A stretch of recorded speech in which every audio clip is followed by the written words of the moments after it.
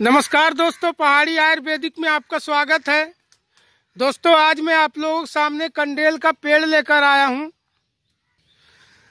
इस रहस्यमयी, अद्भुत, चमत्कारी दुनिया में एक से बढ़कर एक पेड़ पौधे इस धरती में उत्पन्न हुए हैं, जो हमारे लिए अमृत के समान है। लेकिन हम अनजान हैं, उनके फायदों से उन्हें इस्तेमाल नहीं कर पाते हैं, उपयोग नहीं कर पाते हैं, इसलिए अपने तकलीफों को दूर नहीं कर पाते हैं। तो देखो दोस्तों, आज मैं आप लोगों के सामने कनेर कंडेल का पेड़ लेकर आया हूँ, और इसी कंडेल के फ़ायदे के बारे में आज मैं आपको बताऊँगा कि यह कंडेल हमारे शरीर के लिए कितना फ़ायदेमंद है। तो देखिए दोस्तों, यह है कंडेल का फूल। यह फूल बहुत ही सुंदर दिखाई देता है, कुप्पीदार दिखाई देता है और पीला पीला सुनहरा रंग दिखाई देता है। और मैं इसका फल भी आपको दिखाता हूँ, आप फल भी देख लीजिए। देखे रहेंगे, पहचाने रहेंगे तो आप देखे रहेंगे, पहचाने रहेंगे तो आपको यह पहचानने में दिक्कत नहीं होगा, जहाँ भी देखोगे तुरंत पहचान लोगे। दोस्तों, यह पेड़ कनेर का, कंडेल का अधिकतर जो है मंदिर के आँगन में आपको देखने के लिए मिल जाएगा, क्योंकि इसे लोग पूजा पाठ में इसके फूलों का इस्तेमाल करते हैं, उपयोग करते हैं। और बहुत से लोग बाग बगीचों में खेत खरियान भी लगा कर रखते हैं सुंदरता के लिए। दोस्तों, इस कंडेल के पत्तों को अगर आप तोड़ेंगे ना तो उसमें से दूध निकलता है। ये देखिए, बहुत हल्का सा दूध निकलता है। तो देख लीजिए, पहचान लीजिए दोस्तों, यह पौधा ज़्यादा बड़ा नहीं होता है। आठ से दस फुट तक होता है। तो चलो दोस्तों, मैं उम्मीद करता हूँ आप इस पौधे को, इस जड़ी बूटी को पहचान चुके होंगे। तो आओ चलो, अब इसके फ़ायदे के बारे में भी जान लें कि यह कितना फ़ायदेमंद है हमारे शरीर के लिए। तो दोस्तों, कहते हैं ना, जहर को जहर मारता है। यह पौधा कंडेल का एक पक... दोस्तों कहते हैं ना, जहर को जहर काटता है, यानी जहर को जहर मारता है। यह पौधा कंडेल का एक जहरीला पौधा होता है। इसलिए अगर हमें कभी भी कोई जहरीला कीड़ा काट ले तो उस जहरीले कीड़े के काटे हुए स्थान पे अगर इसके पत्तों का दूध निकाल कर लगाया जाए तो जहरीले कीड़े के काटे हुए जहर का असर जो है खत्म होने लगता है, कम होने लगता है। अब जहरीले कीड़े में जैसे मान लीजिए बर्रो हुआ, ततैया हुआ, मधुमक्खी हुआ, या फिर बिच्छू हुआ, या फिर सांप ने डस लिया, काट लिया। तो सांप के डसे में भी आप इसके पत्तों का इस्तेमाल कर सकते हैं। वो तरीका मैं आपको लास्ट में बताऊँगा कि किस तरह से उपयोग करना है सांप के काटने पर। पहले हम छोटे मोटे बीमारियों को ठीक करने के उपाय जाने। तो दोस्तों, यह जहरीले कीड़े के जहर को नष्ट करता है और साथ में त्वचा रोग भी ठीक करता है। जैसे मान लीजिए किसी को दाद है, खाज है, खुजली है जिमा है, अकवत है, अपरस है, किसी भी प्रकार त्वचा रोग हो तो आप इसके पत्ते को पत्थर के सील में पीस कर इसका एक लेप बनाइए और उस लेप को त्वचा रोग पे लगाइए। तो पता है दोस्तों, इसके पत्तों के लेप से त्वचा रोग बिल्कुल ठीक हो जाएगा, वो भी जड़ से कुछ दिनों के अंदर। और भी फ़ायदे इसके हैं। इसका उपयोग ऊपरी तौर से हम हर बीमारी पर कर सकते हैं। अगर किसी के बालों की बीमारी हो, बाल झड़ता हो तो भी आप इसके पत्तों का रस निकाल कर बालों की जड़ में लगाइए तो बालों का रोग नष्ट हो जाएगा। और ये जो आप देख रहे हो, फल, यह फल तो अभी कच्चा है और जब पक जाता है तो यह फल पक, पकने पे ऐसे दबा देंगे तो इसका अंदर बीज निकलता है। वह बीज बहुत सुंदर दिखाई देता है। बहुत से बच्चे ग्रामीण क्षेत्र में उस बीज से खेलते हैं, कौड़ी बनाकर। तो दोस्तों, अगर किसी को हाथ पैर में दर्द होता हो तो आप इस फल को लेकर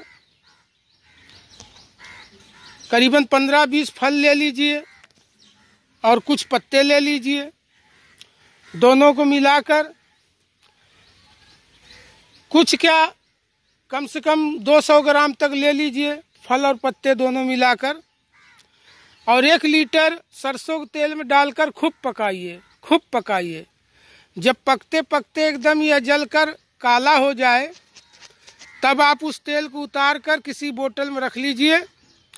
और फिर आप कमर दर्द में, घुटनों के दर्द में जोड़ जोड़ के दर्द में चोट मोच के दर्द में, यानी किसी भी प्रकार का दर्द हो, आप इससे बना हुआ तेल का मसाज कीजिए, वह दर्द ठीक होगा। और अगर चाहते हैं उस तेल को आप खुजली में लगाना तो पूरे बदन में अगर किसी खुजली हुआ है तो आप कपूर मिलाकर पूरे बदन में लगाइए, खुजली ठीक हो जाए। अब खुजली चाहे पकने हुआ खुजली हो या सूखा खुजली, क्यों खुजली दो प्रकार का होता है। एक पानी फेंकने वाला खुजली होता है और एक सूखा खुजली होता है। जो सूखा होता है, वो तो चलो कुछ ठीक होता है, लेकिन जो पकनवा खुजली होता है, पानी फेंकने वाला, उसका पानी जहाँ जहाँ लगता है ना नया नया खुजली के दाने उत्पन्न हो जाते हैं। वह बहुत खतरनाक और ख़राब रोग होता है। रोग तो सभी खराब होते हैं, कोई रोग अच्छा नहीं होता है। दोस्तों, इस कंडेल में तीन प्रजाति होते हैं। और तीनों के फूलों का रंग अलग अलग होता है। जैसे जिस पौधे के पास मैं खड़ा हूँ, इसके फूलों का रंग तो पीला है। और इसी तरीके से जो अलग अलग प्रजाति के पौधे होते हैं, उनके फूल का रंग अलग अलग होता है। किसी का सफ़ेद फूल होता है, किसी का लाल फूल होता है, और किसी का केसरिया फूल होता है, ऑरेंज कलर का। तो इसके चार प्रजाति है। और इसे कंडेल कहते हैं। और इसी के बगल में इसका एक पर प्रजाति है, जिसे कनेर कहते हैं। देखिए, ये कनेर है। कनेर और कंडेल में डिफरेंस है। या कनेर है, इसके पत्ते थोड़े मोटे मोटे होते हैं और इसके फूल भी अलग होते हैं। यानी इसके फूलों के डिज़ाइन भी अलग होते हैं। और इसके फली के डिज़ाइन भी अलग होते हैं। इसके फली लंबे लंबे होते हैं और ये कंडेल है। इसके पत्तों का डिज़ाइन अलग होता है। इसके पत्ते पतले पतले होते हैं और इसके पत्ते जो है चौले चौले होते हैं। ये दोनों पेड़ अलग है। ये कनेर का है और ये कंडेल का है। तो मैं आपको कंडेल के फ़ायदे के बारे में बता रहा हूँ। कनेर के नहीं। और देखिए, ये फल है गोल। तो कंडेल का फल जो है गोल होता है और इस कनेर का फल जो है लंबा होता है। आप देख लीजिएगा। ये दोनों पेड़ में डिफरेंस है। बहुत से लोग दोनों को एक ही में लपेट देते हैं। तो आप थोड़ा इसको समझिए। अब चलो हम कंडेल के और कुछ फायदों के बारे में जाने कि यह कंडेल हमारे लिए और क्या क्या फ़ायदे हैं। तो हाँ दोस्तों, मैंने बताया था कि अगर किसी को अचानक खेत वोत खरिहान में जाने, सांप काट ले तो फिर आपको क्या करना है? तो देखिए दोस्तों, ज़िंदगी मौत तो ईश्वर के हाथ में है, लेकिन उपाय करना हमारा काम है। इलाज तक पहुँचते पहुँचते हम अपने आप को किस तरीके से बचाएँ, मैं उसका उपाय बता रहा हूँ कि मान लीजिए डॉक्टरी सुविधाएँ अभी नहीं है और इमरजेंसी में आपको सांप ने काट लिया तो आपको क्या करना है वो जान लीजिए। ताकि ज़रूरत में काम आए। तो दोस्तों, अगर किसी को सांप ने डस लिया है तो आप किसी धारदार हथियार से, ब्लेड से सांप के काटे हुए जगह को थोड़ा और काट दीजिए, फाड़ दीजिए। इतना फाड़िए कि वहाँ की जहरीला खून जो है बाहर निकाला जा सके। तो दोस्तों, सांप के काटे हुए स्थान को फाड़ने के बाद उसे दबा दबा कर वहाँ का खून बाहर गिराइए, निकालिए ताकि खून के साथ में विष भी बाहर गिर जाए। और जहाँ पर सांप काटा हो, उससे करीबन छः इंच या सात इंच ऊपर किसी रस्सी से या रुमाल से बाँध दीजिए, ताकि ब्लड सर्कुलेशन रुक जाए और जहर का प्रभाव पूरे शरीर में न फैल पाए। इतना होशियारी चलाकी जो लोग करते हैं, वही लोग बच पाते हैं, क्योंकि भाई देखिए, सांप का जहर पूरे शरीर में अगर फैल गया तो ब्रेन तक पहुँच गया तो ब्रेन हमरेज हो जाता है।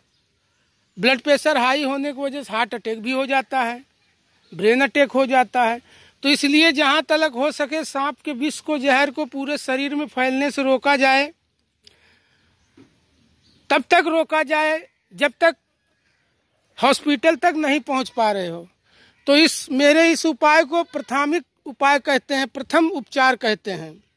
तो दोस्तों, बहुत से ऐसे लोग हैं जो प्रथम उपचार करके अपने आप को बचा लेते हैं। जैसे मान लीजिए, सांपों को पकड़ने वाले जो लोग होते हैं, सफेरा होते हैं तो वो लोग ऐसा ही करते हैं। मैंने उनसे जानकारी हासिल किया और कई बार मैंने उनको करते हुए देखा भी, इसलिए मैं यह बात आपको बता रहा हूँ। तो जब आप खून निकाल देते हैं खून बह जाता है बाहर तो साथ में विष भी बाहर आ जाता है। और फिर उसके बाद आप इस कनेर के पत्तों को कूट पीस कर इसका चटनी बनाकर सांप के काटे हुए जगह पे रख दीजिए तो बचा कुचा जहर यह खींच लेगा। फिर उसके बाद आप हॉस्पिटल में जाकर अपने आप को चेक करा लीजिए, लेकिन ये प्रथम उपचार आप इमरजेंसी में कर सकते हैं। अगर अचानक रात बिरात या ऐसे जगह पे आपको सांप ने काट लिया जहाँ पर इलाज करने का भी समय नहीं है, या फिर हॉस्पिटल बहुत दूर है। तो चलो दोस्तों, इस महत्वपूर्ण जानकारी को हम यही समाप्त करते हैं। अगर हमारी जानकारी लाभदायक हो, फ़ायदेमंद हो तो हमारे चैनल को लाइक कीजिए, शेयर कीजिए, सब्सक्राइब कीजिए। नमस्कार दोस्तों, पहाड़ी आयुर्वेदिक।